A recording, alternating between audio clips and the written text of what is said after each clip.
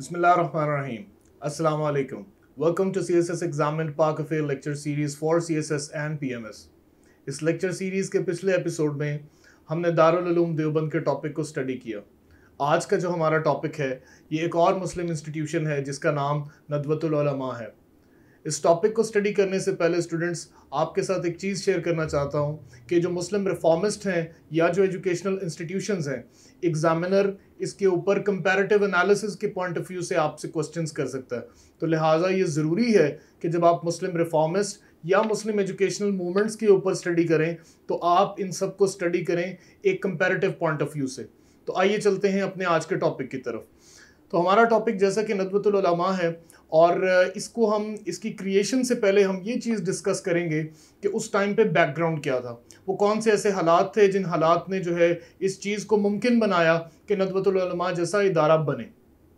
اچھا سب سے پہلے تو یہ کہ، یہ دیکھنا ضروری ہے کہ بیک گراؤنڈ کے اندر جو ہے، اس ٹائم پہ جو فضا تھی وہ مٹیریلزم کی تھی۔ علی گڑھ مومنٹ، جس طرح سے جو ہے سر سید نے ایفرٹس کی، ہم نے اسٹڈی کیا۔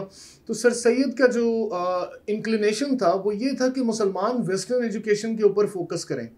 جو مسلمانوں نے ایک گیپ کریٹ کیا ہے، جس کی وجہ سے ہندو اسینڈنسی ہوئی ہے ہائی ایچلانز آف پاور کے اندر، تو اس کو مسلمان ری گین کریں۔ جبکہ اس کا کاؤنٹر جو ہے، وہ آپ دیکھیں تو دارالعلوم دیوبند تھا۔ کہ انہوں نے اسپریچولزم کے اوپر کیا، مسلمانوں کی ریلیجس ریفارمیشن کے اوپر کام کیا۔ تو ندوۃ العلماء اس کانٹیکسٹ کے اندر اس گیپ کو انالائز کر لیتی ہے۔ دوسری چیز یہ تھی کہ آئسولیشن آف علماء فرام پریکٹیکل لائف اب جیسا میں نے آلریڈی بتایا کہ دیوبند دیوبند کے اندر جو تھے، علماء کا زیادہ فوکس وہ دین کے اوپر تھا۔ وہ پریکٹیکل لائف پہ نہیں تھے۔ ان کا جو ایسپیکٹس تھے وہ زیادہ ریلیجیس سائڈ پہ تھے۔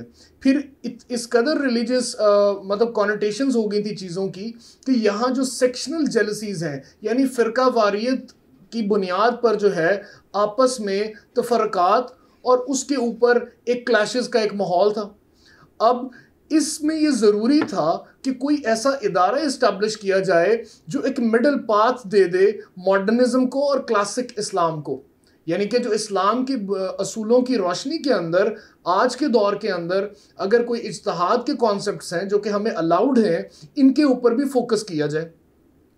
ایک اور بیک گراؤنڈ کا سینیریو کے اندر ایک پوائنٹ امپورٹنٹ یہ ہے کہ جو برٹش سویلائزیشن ہے یعنی کہ برٹش کے یہاں پر آنے کے بعد، یہاں پہ ایک تو کرسچن مشنریز نے اپنا کام شروع کر دیا تھا۔ پھر جو برٹش سویلائزیشن اٹ سیلف تھی، یہ مسلمانوں کے لیے خطرناک تھی۔ اور مسلمانوں نے پھر اس کا کاؤنٹر ایسے کیا کہ جو انگلش اپنے ساتھ ایک ماڈرن ایجوکیشن کا سسٹم لے کر آئے، مسلمانوں نے اس کو اگنور کرنا شروع کیا۔ ان کا ذہن یہ تھا کہ شاید یہ ان کی نسلوں کو خراب کر دے۔ اس کے بعد جی بات کرتے ہیں کہ فاؤنڈیشن اب یہ چیزیں ریئلائز ہو گئی ہیں اور ان چیزوں کو ریئلائز کرنے کے بعد ندوۃ العلماء بناتے ہیں کچھ علماء مل کے۔ تو سب سے پہلے دیکھیں کہ یہ تو کانپور میں اس کی فارمیشن ہوتی ہے ایٹین نائنٹی فور میں۔ یہاں ایک اینول کنونشن ہوتی ہے ندوۃ العلماء کی، اور یہاں مختلف جو ہے، فقہ کے اور مختلف آپ کہہ لیں گروپس کے جو اسکالرز ہیں، وہ یہاں پر اکٹھے ہوتے ہیں۔ اور یہاں پہ یہ سارے ویسٹرن ایجوکیشن کے خلاف ان اے سینس کہ وہاں ان اداروں میں چونکہ مسلمان ریزسٹنس دکھا رہے تھے ہزسٹنٹ تھے اپنے بچوں کو بھیجنے کے لیے، تو انہوں نے کہا کہ ہم ماڈیفائڈ ورژن بناتے ہیں دارالعلوم دیوبند کا۔ تو اس صورت میں یہاں پہ جو مولوی محمد علی کانپوری ہیں، یہ اس کے پہلے ایڈمنسٹریٹر یا ناظم بنتے ہیں۔ اور اس کا جو فاؤنڈیشن سٹون ہے، جو آپ کہیں کہ ایک اس کا فارمل انوگریشن بعد میں ہوتا ہے، وہ اس ٹائم کے lieutenant governor of India sir John Prescott کرتے ہیں on November twenty eight nineteen zero six کو۔ اور سر آغا خان اس کو ہیڈ کرتے ہیں۔ اب یہ بات بڑی امپورٹنٹ ہے کہ سر آغا خان ایک ماڈریٹ اس سے بلانگ کرتے تھے اسکول آف تھاٹ سے۔ اور ان کو برٹش سپورٹ بھی تھی۔ تو لہٰذا ندوۃ العلماء کی پروپگیشن کے اندر سر آغا خان کا رول بہت امپورٹنٹ ہے۔ اب یہ ندوہ اٹ سیلف ایک نام اس کا کیوں بنا؟ یہ ندوہ ہی کیوں؟ سب سے پہلی بات تو یہ کہ جو ندوہ کی لٹرل میننگز ہیں وہ ہوتے ہیں اسمبلی اور گروپ کے یعنی کہ اکٹھا ہونے کے۔ دوسری چیز یہ ہے کہ مکہ میں ایک ہال ہوتا تھا جہاں پہ نوبلز بیٹھتے تھے اور وہ ڈسکشنز کا ایک ماحول تھا وہاں پہ۔ مختلف چیزوں کے اوپر ڈسکشنز کی جاتی تھی۔ تو ندوہ جو ہے یہ ایونچولی لکھنؤ شفٹ ہو جاتا ہے ایٹین نائنٹی ایٹ میں کانپور سے۔ اور اس کا جو کریکولم ہے، اس کو ماڈرن ریکوائرمنٹس کے مطابق اس کو بنایا جاتا ہے۔ تو یہ اس کا نام کے پیچھے اس کا پرسپیکٹو تھا۔ اب اس کے جو فاؤنڈرز تھے، ان کا ایک ویژن تھا اس ادارے کو لے کے۔ اور وہ ویژن آپ کو نظر آتا ہے اس چیز میں کہ یہ دیکھتے ہیں کہ جو present educational system of the Muslims ہے، اس کے اندر ریفارم کی ضرورت ہے۔ کیونکہ جو نیا نظام انگریز لے کر آئے، اس کو تو مسلمان ریزسٹ کر رہے ہیں۔ تو لہٰذا یہ ضروری ہے کہ مسلمانوں کی ایگزسٹنگ تعلیمی نظام کے اندر کچھ ایسی چیزیں لائی جائیں جو کنٹمپریری ان نیچر ہوں۔ تو وہ کہتے ہیں اس کے لیے ہم ایجوکیشنل ریفارم کرتے ہیں۔ دوسری چیز یہ ہے کہ وہ کہتے ہیں کہ جو پرنسپلز جو آپ کے ریپرزنٹیٹیوز ہیں، آپ کے اس وقت کے بڑے بڑے مدارس کے، یہ اینول کنونشن کو اٹینڈ کریں۔ اور اس annual convention of Nadwatul Ulama کے اندر ایک فیڈریشن آف مدارس بنا لی جائے تاکہ یہ فیڈریشن آف مدارس ان مدارس کی پروگرس کو، ان کے کریکولم کو اور ان چیزوں کو مانیٹر کرے تاکہ ایڈ پار چلنا چاہیے ان مدارس کو ود دا سوسائٹی دوسرا یہ کہتے ہیں کہ اب چونکہ مدارس تو اسٹیبلش ہونا شروع ہو گئے ہیں، تو کچھ مدارس کے اندر ہاسٹل فیسلٹیز کے اوپر بھی جو ہے وہ کام کیا جاتا ہے۔ تاکہ یہاں پہ مسلمان جو ہیں، جو ان کے بچے تعلیم حاصل کر رہے ہیں، یہ آپس میں ایکسٹرا کریکولر ایکٹیویٹیز کے تحت ایک دوسرے کے ساتھ اپنے ایکسچینج آف آئیڈیاز کریں۔ اس کے بعد جو کریکولم ریفارم جس کی بات ہم شروع سے کر رہے ہیں، وہ یہاں پر ہوتی ہے۔ اور شاہ محمد حسین الہ آبادی اور اس کے بعد علامہ شبلی نمانی وہ اس چیز کو دیکھتے ہیں۔ اگر ندوۃ العلماء میں ہم کسی ایک شخص کا ذکر کرنا چاہیں جس کی اس کے اندر کانٹریبیوشن سب سے زیادہ ہے اور وہ اس تحریک یا اس ایجوکیشنل انسٹیٹیوشن کے اندر ایک سینٹر کی حیثیت سے ان کا ان کی پرسنالٹی ہے، تو وہ علامہ شبلی نمانی ہے اچھا جی یہ ہم نے اسٹڈی کر لیا اس کا ویژن اسی ویژن کے اکارڈنگلی یہ آبجیکٹیوز اپنے بنا لیتے ہیں. تو پہلا آبجیکٹیو یہ بنا لیتے ہیں کہ اب تو سلیبس کی امینڈ کرنا ہے ہم نے. دوسرا یہ کہتے ہیں کہ مسلمانوں کی ایک ایجوکیٹڈ کلاس جو ہے اس کی ڈیولپمنٹ کرنا، اس کی ایگزسٹنس لانا بہت ضروری ہے.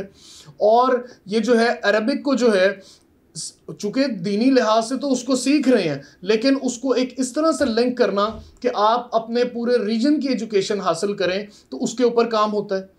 پھر اسلامک پریزرویشن کے اوپر کام کرتے ہیں اور پھر علماء کے اندر جو ڈفرینٹ سیکٹس ہیں، ان کو دور کرنے کی کوشش کرتے ہیں کہ اس کی بنیاد میں آپسی تفرقات نہیں ہونے چاہیے۔ اور اوور آل اگر بات کریں تو ان کے آبجیکٹو میں سب سے بڑی چیز ہوتی ہے کہ مسلمانوں کے اس وقت کے حالات کو بہتر کرنا۔ اب یہ سروسز کے اندر کرتے ہیں، یہ ایک الندوہ میگزین نکالتے ہیں۔ اور الندوہ میگزین کا مقصد یہ ہوتا ہے کہ اس وقت کے چیلنجز ایشوز کو ڈسکس کیا جائے اس میگزین کے اندر، تاکہ مسلمان ایک ایسی چیز، ایک سنگل پلیٹ فارمز کے اوپر یعنی کہ جو لوگ سٹوڈنٹس نہیں ہیں اور باقی مطلب جنرل پاپولیشن ہے، وہ اس کو پڑھ کے اپنے آپ کو ایڈ پار لا سکے موجودہ حالات کے۔ دوسری چیز، انہوں نے مسلم پریس کو کافی سپورٹ کیا۔ اور مسلم پریس کے اندر ایک نئی جان آئی ان کے ندوۃ العلماء بننے کے بعد۔ پھر انہوں نے ایز اے برج ایکٹ کرنا شروع کر دیا ان لوگوں کے بیچ جو پرانے خیالات رکھتے تھے اور ایک نئی جو آج کے جو دور کے جو نئی ورلڈ تھی نیو ورلڈ آرڈر تھا، جو جو کہ اب اس ٹائم پہ برٹشرز کے آنے کی وجہ سے تھا، تو انہوں نے اس کے اندر ایک برج کا کردار ادا کیا۔ پھر یہ translation of Quran into English کر دیتے ہیں۔ کیونکہ اس سے پہلے پرشین میں ہو گیا، اردو میں ہو گیا، یہ کہتے ہیں اس کو انگلش میں کنورٹ کر دیں تاکہ جو مسلمانوں کے بچے اب انگریزی زبان سیکھ رہے ہیں، وہ اب قرآن کی تعلیم انگریزی زبان میں بھی حاصل کریں، نمبر ایک. اور نمبر دو، جو غیر مسلم ہیں، وہ بھی اب قرآن کا انگریزی ترجمہ جب دیکھیں گے اور پڑھیں گے، تو ان کو بھی ہمارے ریلیجن کے بارے میں پتہ لگے گا کہ اسلام از اے ریلیجن آف پیس پھر انہوں نے اپنی سروسز کے اندر ہندوز کی جو مومنٹ تھیں جو آریہ سماج کے تحت شدھی جیسی تحریکیں تھیں، ان کا بھی کاؤنٹر کیا۔ اور اسلام کی پروپگیشن کے اوپر فوکس کرتے ہوئے کرسچن مشنریز جو تھے، ان کے ایجنڈاز کو بھی فیل کیا۔ اس کے اوپر جو ہماری سوسائٹی نے ایک مکسڈ قسم کا ریاکشن دیا۔ سب سے پہلے تو جو نان مسلمز تھے، انہوں نے تو اس کو کمپلیٹلی بائیکاٹ کیا۔ ان کی، ان کے پاس ایک بڑی ویلڈ ریزن تھی کہ اب چونکہ مسلمان ماڈریشن کی طرف یا ماڈرن ایجوکیشن کی طرف جا رہے ہیں، تو ان کے لیے یہ ایک بیڈ سائن تھا کہ اب مسلمان کہیں پھر سے ہائی ایچلونز آف پاور کے اندر واپس نہ آ جائیں۔ دوسری چیز، کچھ ایسے ہارڈ لائنرز تھے برٹش گورنمنٹ میں جو مسلمانوں سے ویسے ہی ایک نفرت انگیز رویہ تھا ان کا، جس کے اندر سر اینتھنی میک ڈونلڈ جو ہیں وہ سر فہرست ہیں، جو کہ گورنر آف یو پی بھی تھے۔ یہ کہتے تھے کہ ندوۃ العلماء ایکچول میں ایک ایجوکیشنل انسٹیٹیوشن نہیں، بلکہ ایک ٹول آف پالیٹکس ہے۔ سر سید جو ہیں، وہ ایک لیٹر لکھتے ہیں ندوۃ العلماء کے ریلیجس اسکالرس کو اور کہتے ہیں it is the beginning of a good work اور اس کے اندر جو دیوبند کے علماز ہیں اچھا جنرلی اگر بات کی جائے تو اتنا زیادہ اختلاف نہیں تھا۔ لیکن جو ہارڈ لائنرز تھے، جن کے نظریات بڑے ریجڈ تھے، دارالعلوم دیوبند کے جو وہ علماء تھے، انہوں نے اپوزیشن بھی کی، مولانا شبلی نعمانی کی۔ اچھا جی یہ ایکسٹینشن جو ہے، میں نے آپ کو پہلے بتایا سر، آغا خان جو تھے، چونکہ وہ ایک ماڈریٹ نیچر کے تھے اور برٹش گورنمنٹ جو تھی، وہ ان کے ساتھ ایک بڑے کارڈیل ریلیشنز میں تھی۔ تو لہٰذا برٹش گورنمنٹ نے بھی اس ایجوکیشنل انسٹیٹیوشن کے ساتھ فنڈنگ کے اندر سپورٹ کی۔ پھر نوابز آف بھوپال اور بھاولپور انہوں نے بھی جنرس ڈونیشنز کی۔ اور جیسا میں آلریڈی بتا چکا ہوں کہ مولانا شبلی نعمانی کا جو ٹائم ہے as the administrator of this educational institution it is the golden period of that time اس موقع پہ آپ کو ایک بات بتاتا چلوں کہ ایک وقت ایسا آتا ہے کہ مولانا شبلی نعمانی اپنے کسی اور کلیگ جو ہیں، جو ایک اور ریلیجیس اسکالر ہوتے ہیں، ان کے ساتھ ان کا ایک اختلاف ہو جاتا ہے۔ اور یہ اختلاف جہاد کے کالم پہ ہوتا ہے۔ تو اس کے اوپر مولانا شبلی نعمانی جو ہیں، وہ یہ ادارہ کچھ وقت کے لیے چھوڑ دیتے ہیں۔ لیکن ان کے جانے کے بعد نظر آتا ہے کہ ڈیٹیریوریشن یا ویکنس آ جاتی ہے ندوۃ العلماء کی تحریک میں۔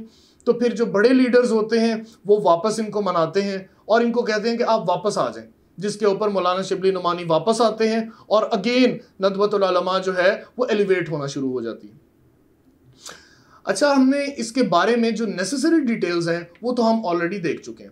ہم نے یہ دیکھا تھا اپنے لاسٹ اور پریویس لیکچرز میں کہ دیوبند جو ہے وہ ریلیجس ریفارمیشن اسپرچولیزم کی طرف اس کا ایک ٹلٹ تھا۔ اور سر سید احمد خان کی جو علی گڑھ مومنٹ تھی، وہ آپ اگر جنیرک اس کو ویو میں دیکھیں تو ایک مٹیریلزم کی طرف تھا، یا آپ کہیں کہ ایک جابز کے لیے ایجوکیشن کے لیے۔ تو یہ ندوۃ العلماء نے اس کے درمیان ایک برج کی حیثیت اختیار کی۔ کیونکہ یہ ماڈریشن کی بات کر رہے تھے۔ یہ کہہ رہے تھے کہ دارالعلوم دیوبند اور سر سید احمد خان کی علی گڑھ تحریک دونوں ایکسٹریمز ہیں اور Nadwatul Ulama is the centre of it دوسری چیز یہ کہ سید سلیمان ندوی جو کہ ندوۃ العلماء کے فاؤنڈرز میں سے ہیں، یہ اشرف علی تھانوی جو ہیں، ان کے اسٹوڈنٹ تھے۔ اور اشرف علی تھانوی چونکہ دیوبند تحریک یا دارالعلوم دیوبند سے بلانگ کرتے تھے، تو اب اس کی وجہ سے چونکہ being a student of Ashraf Ali Thanvi, Syed Sulaiman Nadvi had the support of few اور مینی دارالعلوم دیوبند علماس لیکن اگر ہم اس چیز کو اس نظریے سے دیکھیں کہ ان تینوں تحریکوں نے کیا کردار ادا کیا اور اس کے علاوہ بھی جو تحریکیں تھیں تو تمام کی تمام نے مسلمانوں کی ایجوکیشن کے اوپر فوکس کیا اور the objective of all of them was the betterment of the Muslims تو یہ تھا ہمارا آج کا لیکچر اس ٹاپک سے ریلیٹڈ اگر آپ کا کوئی بھی کوشچن ہے تو آپ اسے ہمارے کامنٹ سیکشن میں مینشن کر سکتے ہیں and we will be happy to answer you stay tuned on this channel and take care اللہ حافظ.